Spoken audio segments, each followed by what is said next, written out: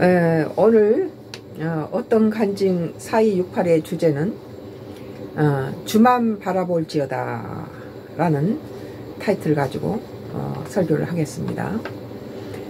에, 우리는 어, 운전을 할 때 만약에 앞을 앞만 바라보지 않고 뒤를 돌아본다거나 옆을 바라보는 순간에 그 한순간에 에, 사고가 날 수 있고 돌발 에, 사건이 앞에서 터진다면 바로 죽음과 연결되겠죠. 에, 운전을 하더라도 앞만 운전자는 앞만 주시하고 가야 돼요. 어, 그런데 우리 인생도 어, 하나님께서는 우리 모든 나침판이 되시고 우리 모든 삶의 에, 운행자가 되시고 우리 발걸음을 인도하신 하나님만 바라보라고 성경은 말하고 있습니다.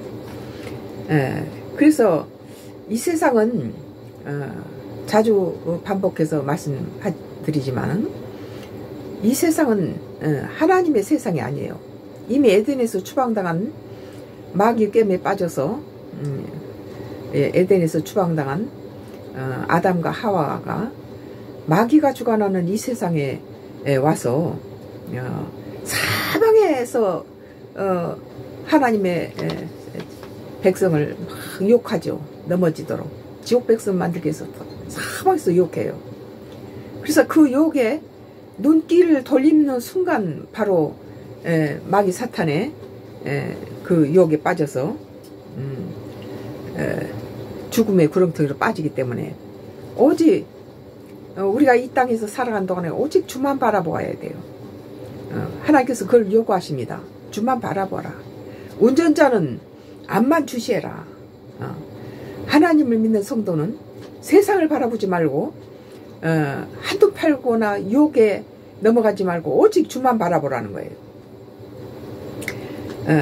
그래서 예수께서 군중들에게 많이 그룹 때처럼 예수님이 예수님의 사역이 음, 그 전도하시고 또 가르치시고 또 치유하시는 3대 사역 중에 이제 많은 무리들이 예수님의 설교를 들으려고 몰려들었죠. 그러니까 바다에 빠지게 될 만큼 사람들이 몰려오니까 배를 타고 저만큼 멀리 떨어져서 이제 배 위에서 설교를 하시는데 그러다 이제 해가 저물자 다들 이제 또 뿔뿔이 이제 그 들판에서 흩어지죠. 그때 예수님께서 어, 베드로가 어, 이렇게 있는데 무리로 예수님이 저벅저벅 무리로 걸어오는 것이 보여요. 그러자 아 저건 귀신이다. 인간이 저렇게 어떻게 무리로 걸을 수 있는가. 어.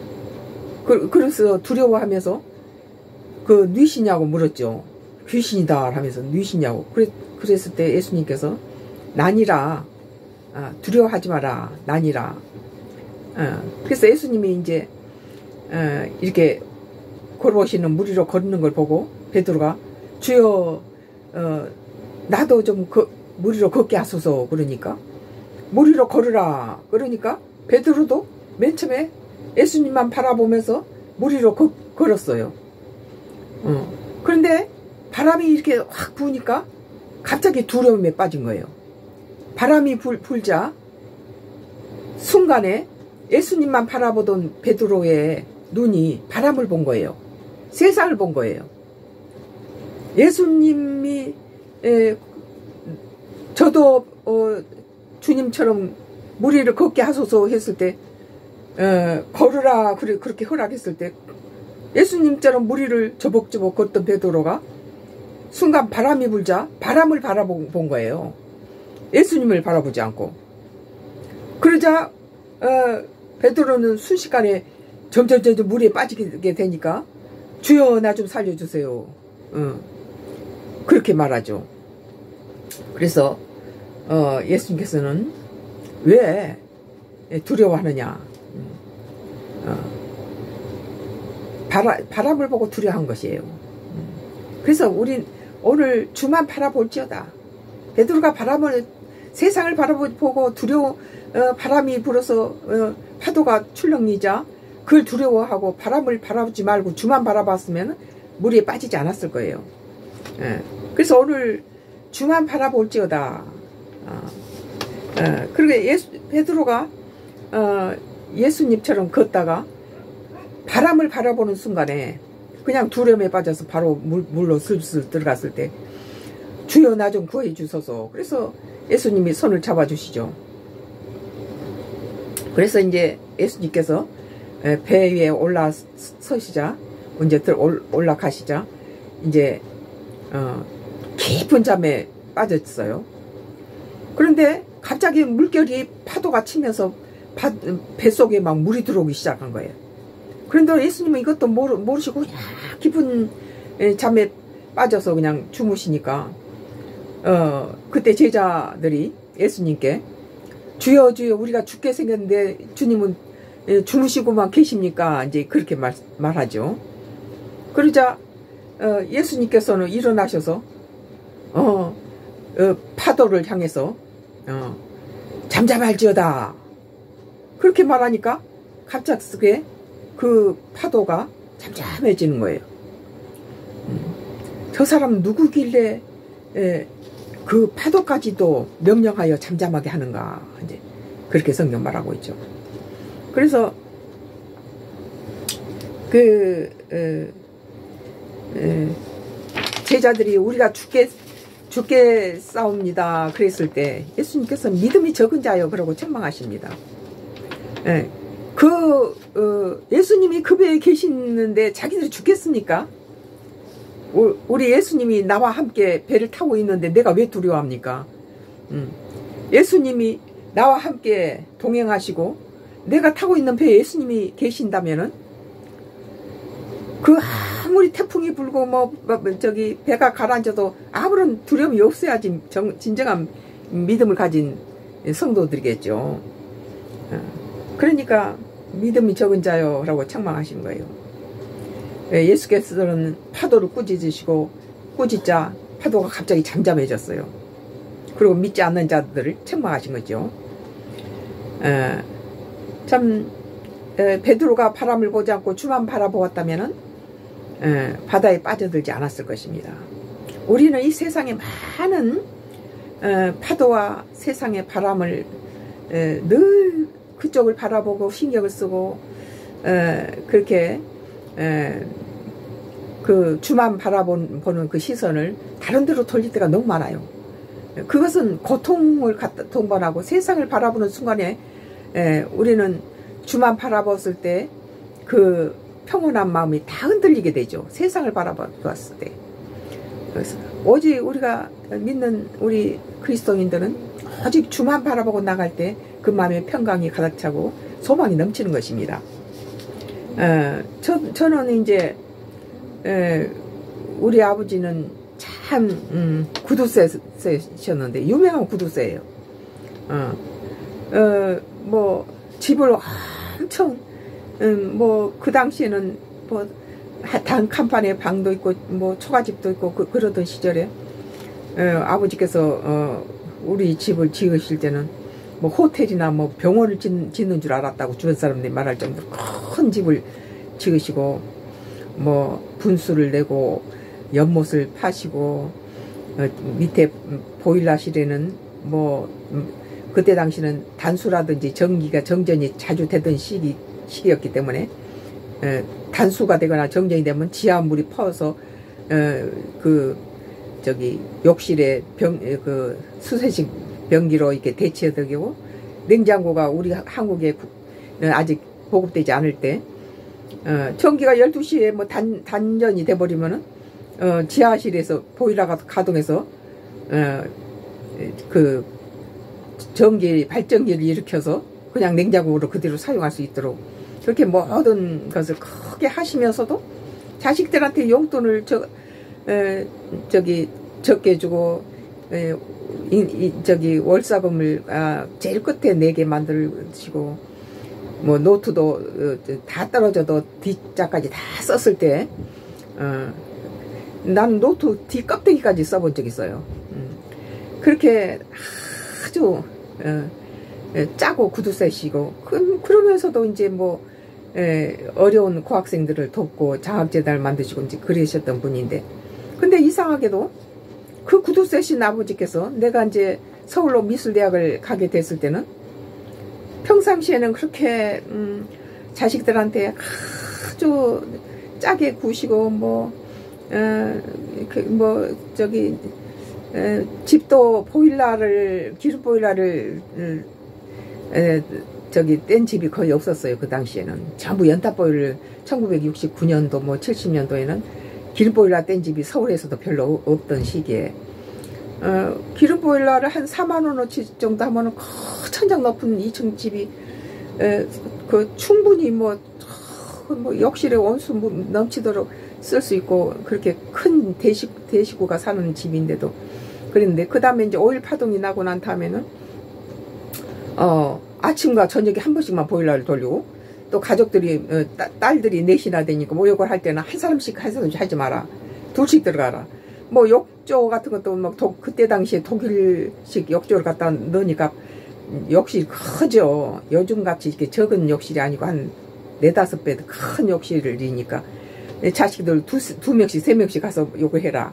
예, 아껴서 써라. 그런데 그런 아버지께서 내가 서울로 미술대학을 갔을 때 어, 아주 개인 모델을 개인 누드 모델을 쓸 수 있도록 다른 학생들은 다 이제 강의가 끝나면은 다 이제 뭐 데이트도 하러 가고 뭐, 뭐 다방에 가서 차, 커피도 마시고 이러고 하는데 나는 어 학교 강의 정상적인 강의 끝나고 나면 그때부터 이제 작업복 입고 이제 어 작품을 시작하는 거예요. 또 내가 아버지가 개, 인 모델을 이렇게 살 수 있는 돈을 보내주셔서 내가 그 개인 모델을 날마다 이렇게 쓰면서 계속 혼자 남아서 밤 11시까지 어 그렇게 작품을 하고 또 이제 에, 그 하숙집에 오면은 하숙집에서는 밤 11시가 되면 밥을 안 차려줘요.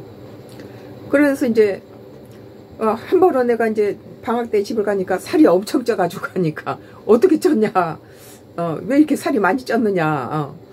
그래서 아 하숙집에 음, 작품하고 밤 11시 좀 가면은 밥을 주지 않아서 너무 배가 고파서 식빵하고 버터를 갖다 집에다 두고 계속 밤이면 그걸 먹고 잤다고. 그래서 살이 이렇게 쪘다고 그랬더니 어, 친정 아버지께서 일하는 집에 일하는 애를 하나를 해서 음, 밤이면 혼자 무서우니까 도시락 싸가지고 그 작업실에 와서 데리고 밤 밥시간에 먹여서 오게끔 이렇게 참 많이 헌신을 하고 그렇게 해주셨는데 어, 나는 어, 아침에 눈을 뜨면 학교에 가서 어, 강의 다 듣고 나서는 작품하고 밤 10시 에, 11시 반쯤 되면 통금이 그때 있었을 때니까 그때 일하는 애가 이제 도시락 갖고 와서는 나, 내 작품 다 끝나면 같이 이제 에, 이제 집 방을 얻어서 이제 또 해주고 이제 이렇게 이제 바꿔줬어요.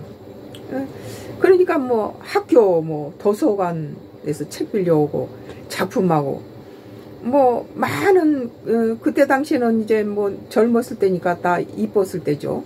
날씬하고 이뻤을 때인데.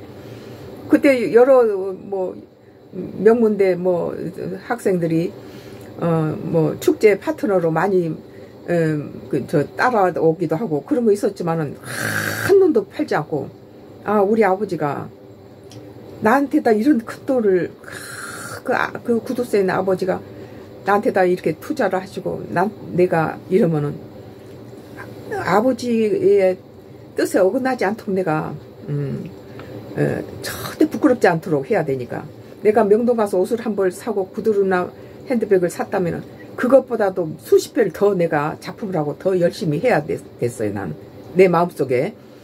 어, 그래서 어, 그때 당시에도 뭐 미팅이니 뭐니 그런 것들을 많이들 하고 그랬는데 오직 음, 어, 그 작품만 하고 우리 아버지가 어, 어, 나를 통해서 음, 요구하시는 것이 뭔지를 내가 잘 아니까 바르게 어, 참 어, 그렇게 하는 독서와 작품하고 에, 또 에, 우리 아버지가 실망하지 않도록 어, 대학 시절에 에, 그 일반 음, 그 작가들이 전시에 내 가지고 이제 거기에 입상을 해서 이제 그 상장을 이제 보내드렸더니 너무 기뻐하시는 거예요. 그래서 이제 이런 어, 오직 그때 당시에는 우리 아버지가 나에게 요구하시는 거 바라는 거 그것을 하나도 흐트러지지 않고 바르게 그리고 옳지 않은 것은 보지도 않고 내가 서울 유학 와서는 어, 우리 아버지 돈을 여기서 낭비하고 가면서 그 돈의 음, 가치만큼은 내가 더 이상 배워야 된다. 그러는 어떤 사명감이 있었어요. 근데 이제 우리 친정아버지가 돌아가시고 난 다음에는 어, 하나님 아버지께서 마치 우리 친정아버지처럼 언제나 나를 돌봐주시고 나를 사랑하시고 나한테 기대를 많이 하시고 어, 늘내 등 뒤에서 도우시는 거예요.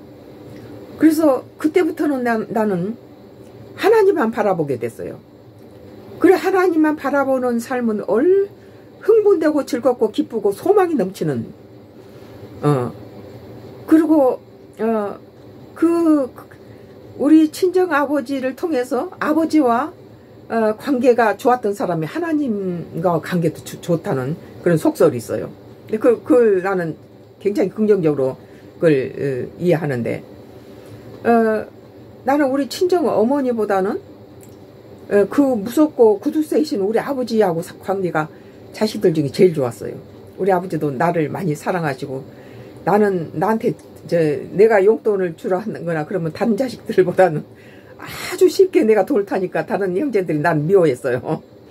어, 좀, 어, 그 편애를 많이 예, 하시고 나한테 많은 돈을 투자하고 그랬던 것은 얘는 돈을 주면은 기, 참, 예, 그, 기쁘, 돈을 줘도 기쁘다. 얘, 얘한테는 돈을 써도. 그래, 거의 내 몸이 부서져라 작품을 하고, 어, 또, 어, 참, 우리가 인생, 열심히 최선을 다해 산 사람은, 어, 죽음이라는 것에 대해서 굉장히 고뇌하게 되죠. 젊은 시절에. 어, 열심히 최선을 다해서 산 사람일수록 아 내가 지금 이렇게 에, 열심히 살아 살았는데 결국 우리는 죽음을 향하여서 가는 거구나. 어, 그때는 교회를 다니지 않을 때니까 예수를 믿지 않을 때니까 그런 것에 대해서 많은 어, 열심히 성실하게 산 사람일수록 더 그것에 대해서 벽에 부딪히는 거죠. 어, 그런데 어, 어느 해 어, 박덕배 교수님이라고 어, 뭐 그때 당시 서울대 교, 어, 교, 수로 계셨던 분인데 법학 통론을 교양 과목을 우리 그, 학대학에 이제 와서 강의를 하셨는데 다른 사람들은 전부 강의 끝나면 인생은 즐거워하면서 다 책 몇 권 끼고 가서 다 다방에 가고 뭐뭐 뭐 미팅 가고 막 저기 데이트하고 그러는데 나는 이 세상에 온 우주에 뭔 또 무거운 짐을 나 혼자 다 짊어진 것처럼 늘 고뇌하고 그렇게 고민하고 열심히 최선을 다해 살았지만 언제나 그런 어, 책을 많이 읽으면 읽을수록 더 그런 것들로부터 가중하게 압박감을 느낄 때 그 교수님이 한 번은 이렇게 강의실에 들어와서 젊은이들이여 고뇌하세요 고뇌하시오. 예, 젊은이들이여 고뇌하시오. 그러, 그러시는 거예요. 그래서 아 어, 젊은 시절에 많이 고뇌를 하라고 그렇게 해서 야 내가 지금 이렇게 막 니체를 읽고 쇼펜하우를 읽으면서 어, 방황하고 이런 것들이 다 지극히 정상적이고 지극히 좋은 어, 나의 많은 고민거리였구나. 어, 그래서 바른 길로 어, 정, 정도를 밟으면서 우리 아버지가 나한테 요구한 대로 헛짓 안 하면서 바르게 살려고 노력했을 때 그런 고뇌에 부딪혔을 때 많은 독서를 통해서 그랬는데도 어, 그때는 음, 음, 음, 해답을 얻지 못했어요. 예수님을 만나서 예수님을 바라보고 주만 바라보게 되었을 때 참으로 죽음이 어, 죽음에 대한 두려움이 사라지고 아 오직 어, 다시 예수를 믿음으로 인하여서 어, 우리가 구원을 받는다는 사실과 어, 죽음에 대한 어, 두려움이 사라지고 어, 오직 주님 우리 아버지가 나를 기대하시고 나를 사랑해 주시고 많은 돈을 투자하셨던 것처럼 우리 하나님께서 나를 통하여서 인류에 어떤 무엇을 제시하시는지를 깨닫게 되었어요. 아 나같이 아무것도 아닌 존재를 가지고 저 하나님께서는 나를 그렇게 크게 사용하시려고 그러시는구나. 감을 잡게 만드시더라고요. 어, 그래서 내가, 아, 난, 나는, 아, 나는 세상을 바라볼 때, 뭐, 여러 가지, 뭐, 어, 세상 것들이 나를 많이 유혹하고 넘어지게 만들지만, 내가 거기서 눈을 돌리지 않고 똑바로 하나님 주만 바라보고 갔을 때, 하나님께서는 나를 통하여서 이루고자 하시는 것을 이렇게 청사진으로 보여주신 거예요. 그래서 어, 하나님은 아, 나의 아버지와 관계와 나와 관계가 너무 유사했어요. 에, 그 아버지께서 나를 강하게 키우고 채찍질 하시고 어, 돈을 적게도 주시고 막 넉넉하게도 주시고 연단을 하는 것처럼 하나님께서도 나를 사랑하시지만 나를 채찍질하고 어, 또 바른 길 가기를 원하시고 어, 참 나의 필요한 모든 것을 채워주시면서도 늘 에, 사랑으로 또 어, 감싸주시는 것을 음, 에, 그래서 이제 참그 내 육신의 아버지를 실망시키지 않기 위해서 에, 최선을 다했던 것처럼 어, 오늘날 지금 내 나이가 이렇게 뭐 기껏해야 한 어, 내일 모레 80 되면은 우리나라 사람들 82가 평균 수명이라잖아요. 그럼 얼마나 더 살겠어요. 어, 그런데 뭐 평균 나이로 치면 10년도 안 남았죠. 그런데도 하나님께서는 어, 참그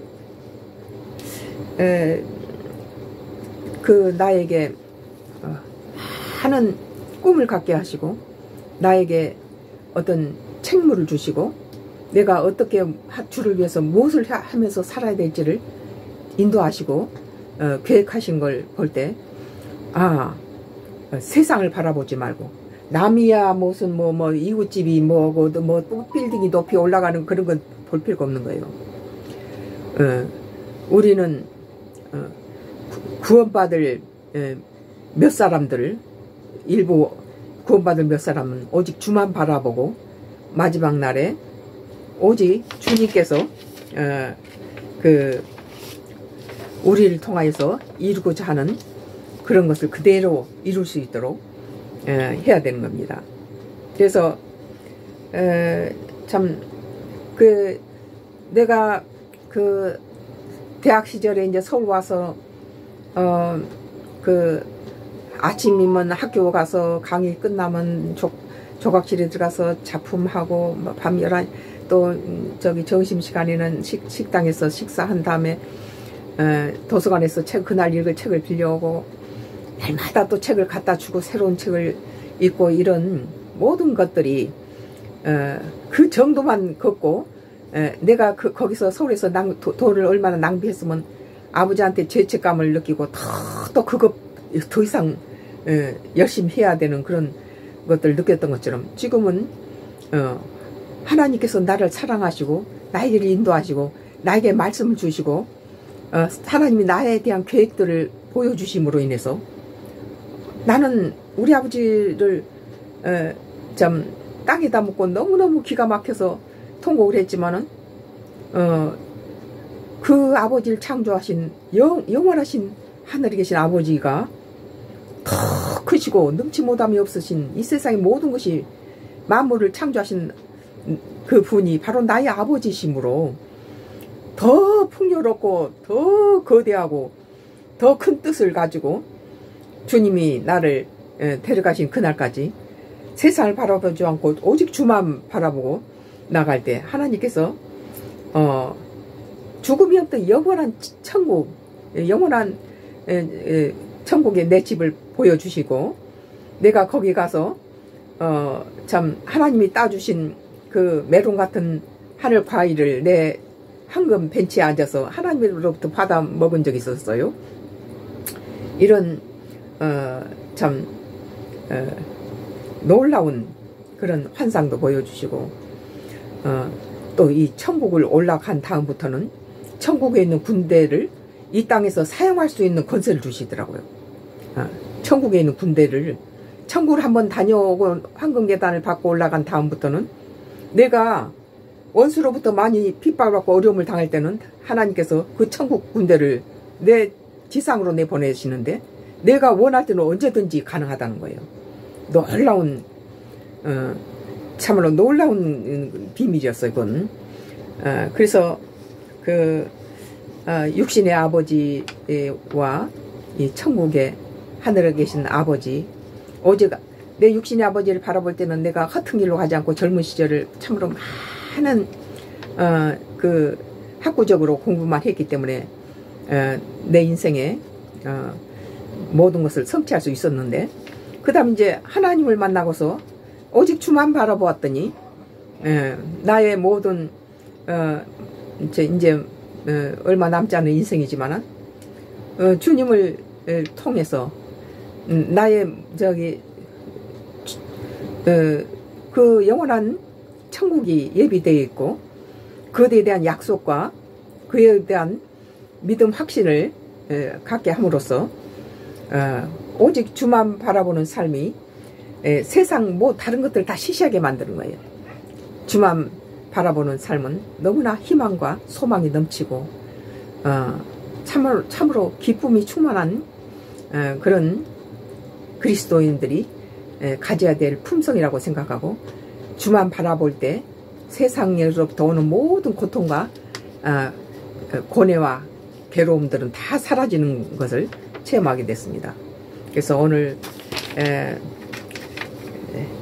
어떤 가지 사이 68이 설교를 에, 에, 주만 바라볼지어다 라는 에, 타이틀 가지고 말씀을 나눠보았는데 어, 여러분도 오직 세상에 너무 고통스러운 걸로 가득 차 있는 이 세상에 에, 바람이 흔들리고 에, 세상을 바라보지 말고 오직 주만 바라보시기 바랍니다. 그리고 잠시 후에 어, 그 오늘은 추워서 그냥 어, 실내에서 연거 저 잠시 후에 여기에서 어, 축도를 어, 사, 어떤 가지 4268에 축도를 해드리겠습니다. 음.